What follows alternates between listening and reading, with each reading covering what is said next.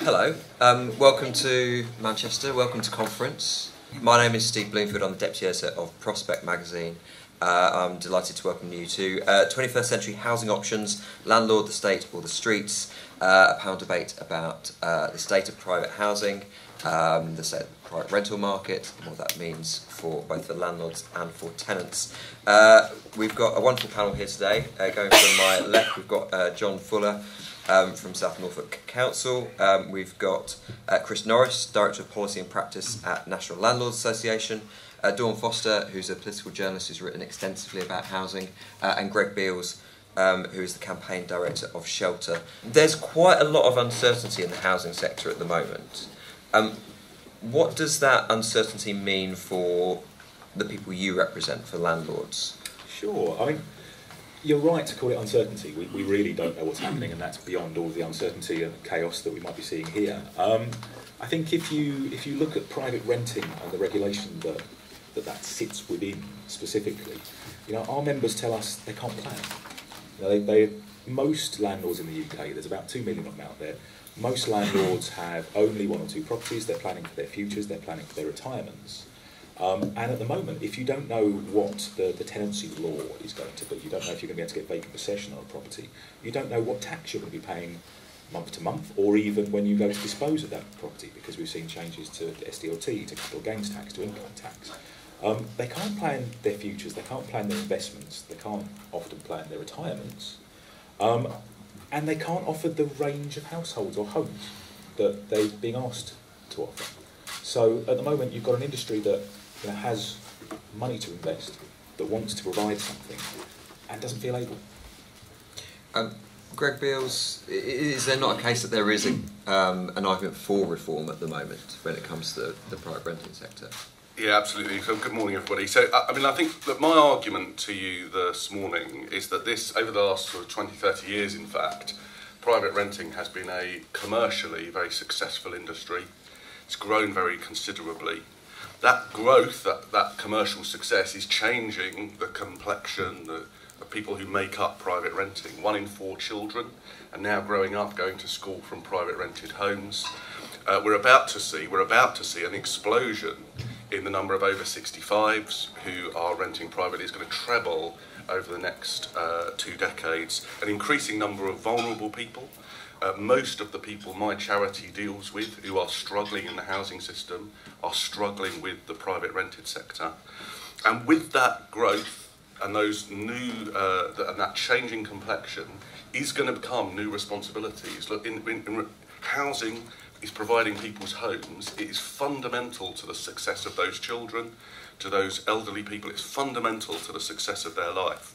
And so, with the growth in the sector, is going to come new social responsibilities, which over time will mean new and different forms of uh, regulation to protect those people. And I think, I mean, I take what Chris says about um, some uncertainty, but I think if I was um, if I was a landlord in the industry now, I would assume that whatever the short run uncertainty is, the long term trend is towards more protection for tenants and greater regulation as the sector grows.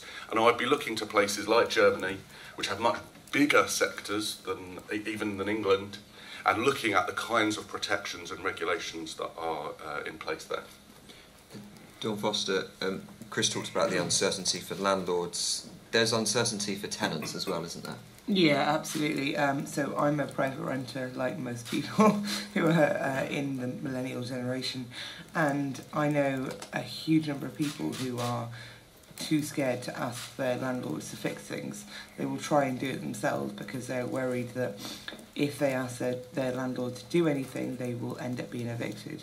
And Shelter work very hard to stop revenge evictions. Um, but there is still a huge amount of uncertainty for tenants. Uh, tenants still worry that anything they do could lead to eviction. And they're worried uh, you know, extensively about rents rising and whether or not they will be able to afford that. Um, and also, almost every person I know who rents feels completely trapped in renting. Uh, their rent is so high they can't save, and because they can't save, they can't save for a property, and the properties are you know, far too expensive anyway.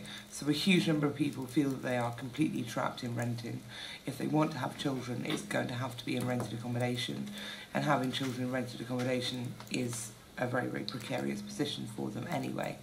Um, so, you know, there are increasing numbers of protections that tenants are very happy about. Um, the fact that we no longer have to pay the uh, you know, fees when we rent, um, is absolutely fantastic. I remember I moved into a flat in Brixton and we were looking at close to £700 in letting agents fees just to get into the flat in the first place. Um, luckily they've gone now, but the uncertainty still remains. Uh, you still worry about whether or not your landlords will decide that they want to sell up, whether your landlords will decide they want to put the rent up massively, um, and you know, it, it still remains the fact that if you are a private renter, you are completely at the mercy of your landlord. Um, John Fuller, tell us about the role of councils when it comes to private housing now, because it's is there a role for for the local authority, and how is that changing? Of course, there's a role for the local authority. I mean, at the moment, I mean, I'm sitting and talking for the LGA. Um, the um, there's almost a, we've almost fallen into this trap already. Like there's a binary housing market. You either own your house, or you have a social house. And that's not the way the market works. The market works because the private rented sector has an important and large role in providing housing for those people who don't necessarily want to have uh, or can't have their own home to buy, but equally, for whatever reason, may not be able to you know, sign up to a very long-term, uh, permanent uh, tenancy agreement with a registered social landlord. And I think sometimes this binary uh, approach to housing isn't doing anyone any favours. Uh, insofar as the council's concerned, private landlords are our friends. We could not possibly provide sufficient social houses uh, for the entire population, and we need to have a vibrant uh, sector in place. Uh, they help us um, house people in need, and in fact, um, sometimes the council, uh, in, in my own circumstance, uh, rents houses from private landlords and then in turn uh, uses them for short-term rent. We certainly, in my own authority, which is in Norfolk, uh, have a deposit scheme, so if people can't uh, sweep together sufficient money for a deposit, and, and they would otherwise fall upon the council for, for, uh, for homelessness or whatever reason, we will help to get them into private rented accommodation. We also have a role, um, a wider role in terms of housing standards and enforcement and HRAs, as uh, HMOs rather. HR is a different thing. There's always those three-letter acronyms. Uh, I know that, that the um, houses of multiple occupation, making sure there are decent homes. There's an enforcement role, and that's something I take very seriously in my own authority's area, not least because uh, homes that are uh, where, where, where private landlords abuse um, their, their tenants. Uh, over occupation, for example, is, is, is, is a precursor to trafficking. Uh, I mean, where, where do you think the people who run these hand car washes live? These are, there's a smuggling operation as well. So we've got a strong um, enforcement role as well. I mean, there's loads of other things uh, we do, not least because the consequences of homelessness. We, we've, as a nationally, we've got 74,000 families in uh, bed and breakfast or temporary accommodation. You know, we're there uh, as the backstop. If you look around the world, typically the bigger private sector housing markets are the ones where there's more protection for tenants mm. and that makes them more enthusiastic to be in it, giving the market more customers. Uh, and I, I mean, that, that, that's a different way of thinking to how we think now about the private rented sector, which I appreciate often comes back to this choice. But actually, imagine that. I mean, a country like Germany, where people choose to rent privately, I think it's better than home ownership in Germany because the market is so appealing. And of course, that is, in the end, that's brilliant for the providers because they're operating in a huge market with much bigger revenues. And I think, and I appreciate there isn't a single reform that's going to move us to that sort of system, but I really think that's a, uh, for me, that's a better approach to thinking about how we, how we manage and regulate this housing system. And I totally appreciate what John says about having to think about it as a, a system. Um, Chris, what are the the regulations reforms that you would like to see that you think you know, given what everyone's been saying about how you know, the growth in the private rental yeah. market, how it's changed, um, you know, perhaps it isn't unreasonable for there to be some changes, but then what regulatory changes should there be that you think would actually improve the way the system works? Because, you know, as we've been seeing, lots of people on both sides don't think it does work. No, absolutely. I mean, I, look, I might, I might shock the room slightly by agreeing with Greg on a, a number of points here. Insofar as you know, we do recognise that the, the assured short hold tenancy, that what we have at the moment, is 30 years old, and the private rented sector has moved on an enormous amount in 30 years. It houses a, a really wide spectrum of people. It, it was intended to get investment going. Um, it did that in, with some other things.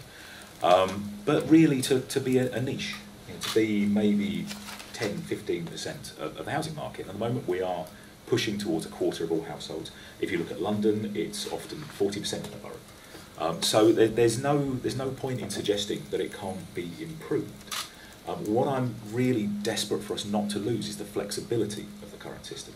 You know, I think that the problems that we see quite often come about because we assume there has to be one, um, one, one fit for everybody, um, which isn't the case. You know, you're going to have people in, you know, certainly in parts of the country where there's a transient workforce, where you need a lot of flexibility, there's a lot of contract work, where actually neither tenant nor landlord wants to put in place an indefinite tenancy. Equally, you've got lots of, uh, of family families living in, in households in the PRS where some more security works for everyone. To come back to, to Greg's point, you know, I don't see landlords and tenants being at odds about what they want. There are some nasty criminal landlords that we need to drive out of the sector who don't want to see long, don't want to see their tenants staying in situ and being happy. But across the, the widest proportion of the sector, if I've got a tenant who's happy, who's in a good quality home, my assets being kept, kept um, in good condition, and I'm getting a regular income stream. So what's not to like? I don't want to churn people. Um, I would, however, caution against looking at Germany necessarily, only because the market's very, very different. You know, there are a lot of landlords actually that would love to see a German system because the moving standard is more like leasehold than it is like the private rented sector. Um, if you if you take a property, for instance, in, in Germany in the private rented sector, it's not uncommon at all for that tenant to contribute towards the new kitchen, the new bathroom, the carpets, the window coverings. If you did that in the UK, it'd be a non-decent home. So you know we need to look at it in the round if we're going to look there. Um, what I'd say to, to answer your question directly in terms of what we should what we should aspire towards for regulation, you know, I don't have an enormous problem in losing Section 21. In theory, if we can get the rest of the system to work. So if we can reform the courts so that you can be guaranteed you will get a court date um, to have a hearing heard. If you have sufficient grounds that will take care of all of those issues that come up in a property. I mean, Greg mentioned earlier, against my, my example of antisocial behaviour, that you can use the system. Well, you can, but it's what's known as a discretionary ground. And it requires the judge to be convinced by other evidence very, very difficult to get people to go along in those circumstances to provide that evidence. So putting in place a system that allows for vacant possession when it's needed, for a sale of a property, for genuine breakdowns in a tenancy, get that in place, get the sequencing right, get a system that works, and then you know I'll, I'll happily see the end of no fault. Uh, but those things have got to come first.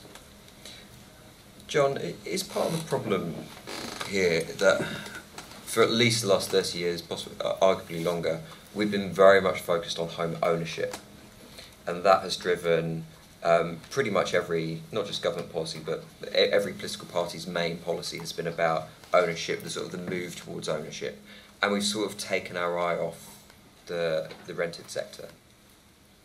I don't don't agree with that at all. Um, I mean,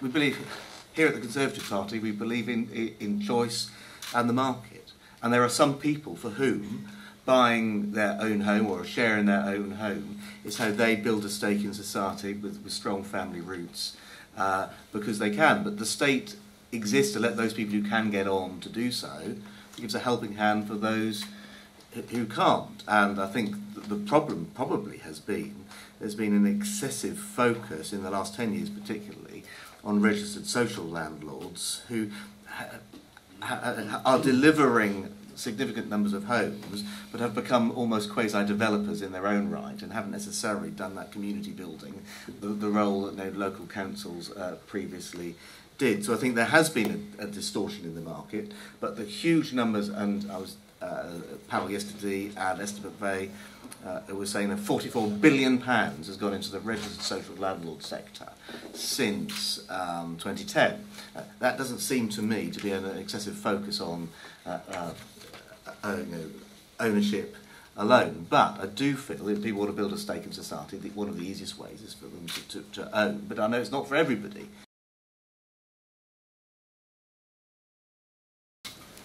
Um, Chris, John mentioned there um, Section 21, Mm. um, and this was a move by a Conservative government um, to uh, to abolish no fault evictions.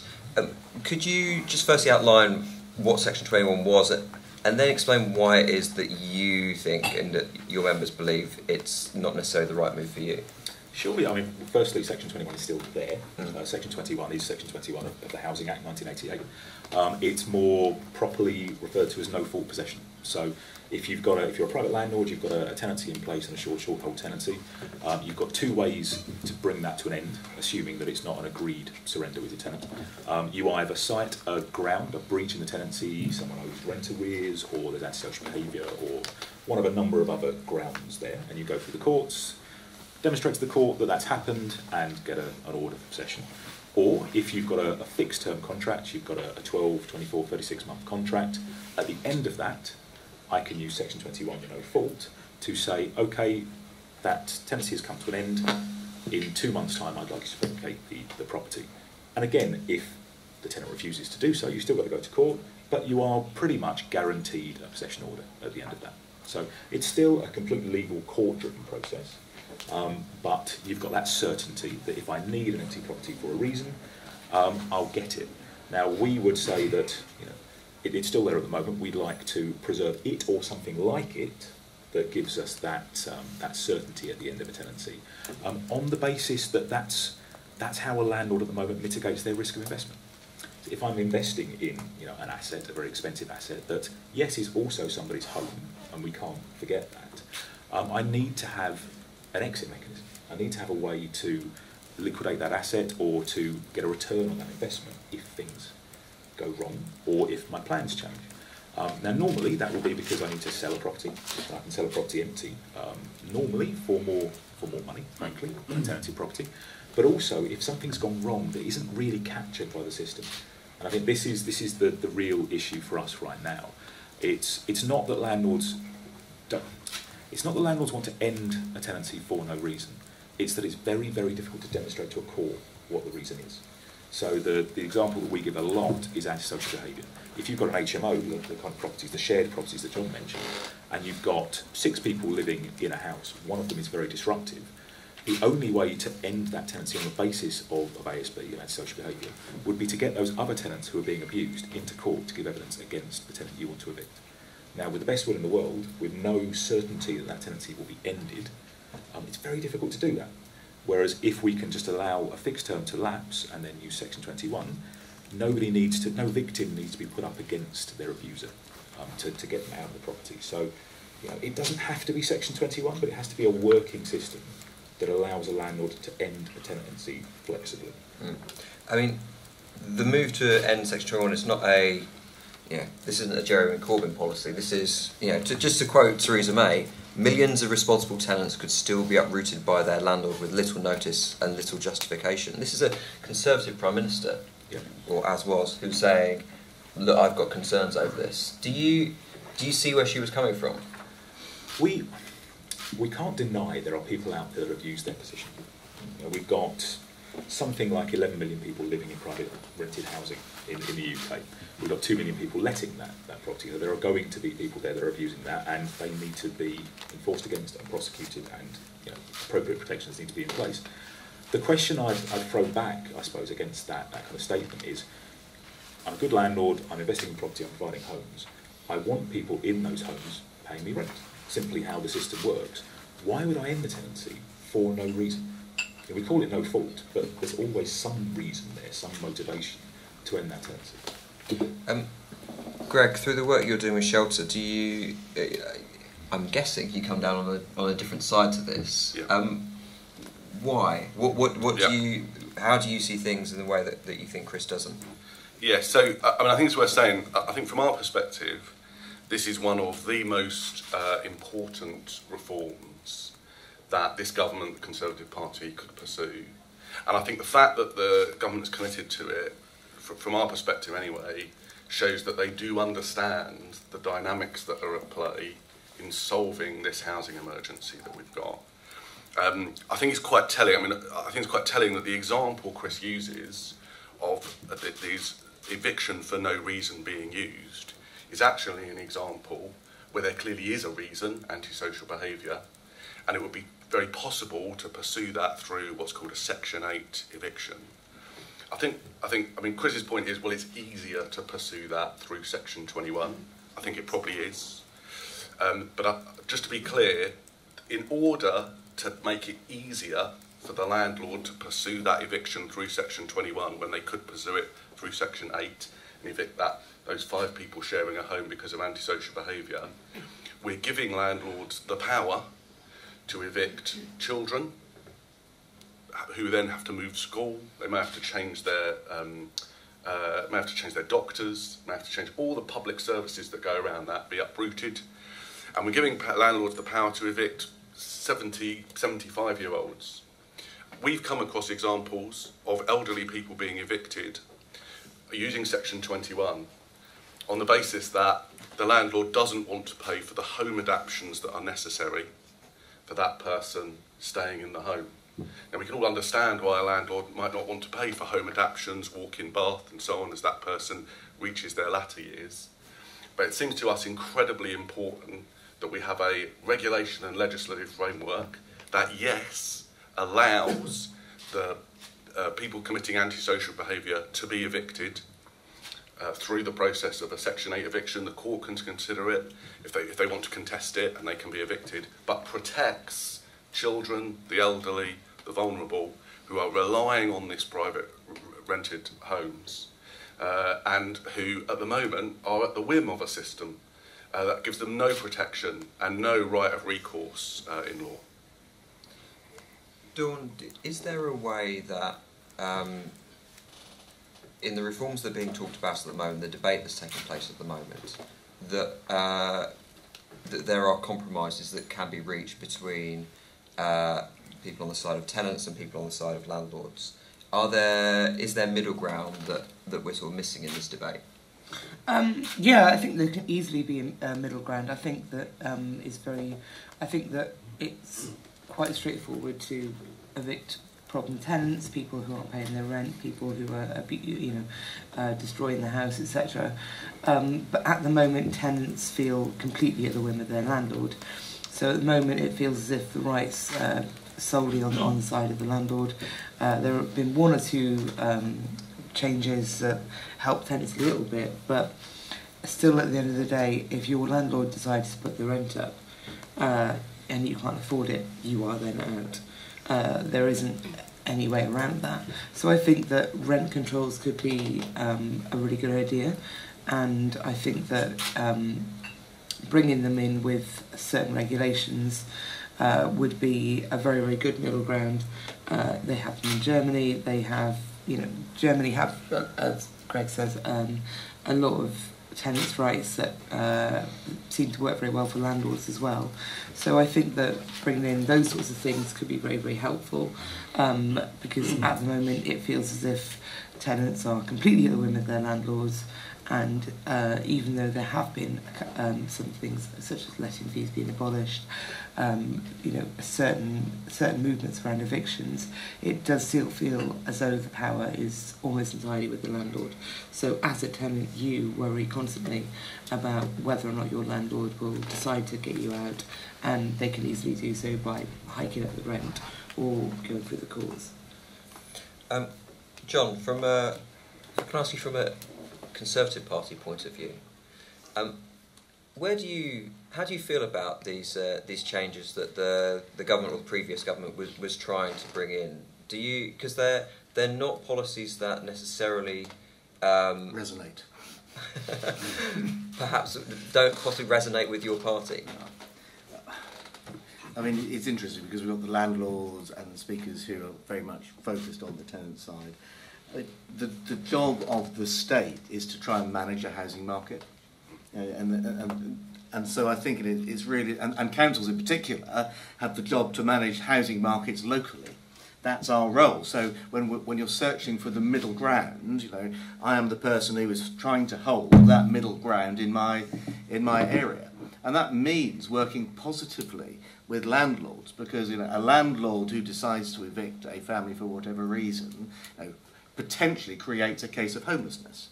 And we pick up the pieces, as I said earlier, there are 74,000 people currently today sitting in temporary accommodation. And that's not in our interest. So actually there's a fiscal incentive for councils to positively engage with landlords to try and fix problems. And, and, and we've got a series of schemes. Um, you know, and, and, part, and part of our remit and role isn't just to stand, stand off, recognising that the long stop position, the, the consequences of an eviction are potentially a very expensive homeless situation, we are positively incentivized to try and sort out people's debt problems.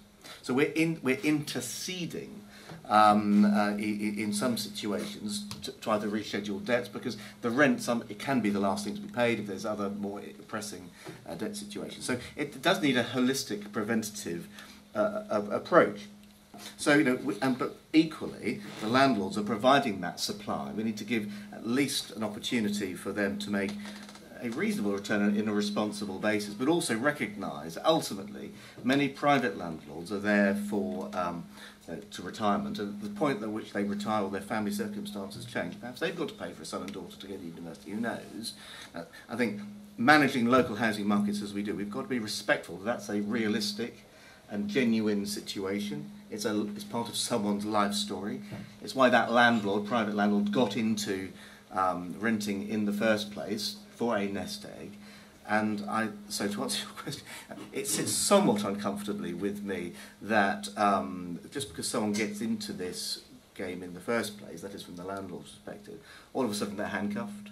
And I think that the system has to recognise there are some life events, not just in the tenants' uh, lives, but also in the landlord's eyes, uh, that, that would allow a termination of a tenancy to come to respect those points. Otherwise, the overarching responsibility is we can have a reduction in supply. And that doesn't help anybody. Uh, and I think that, that that's the balance. So that's what I try and do, managing my local housing market with rental guarantees and all those other uh, techniques.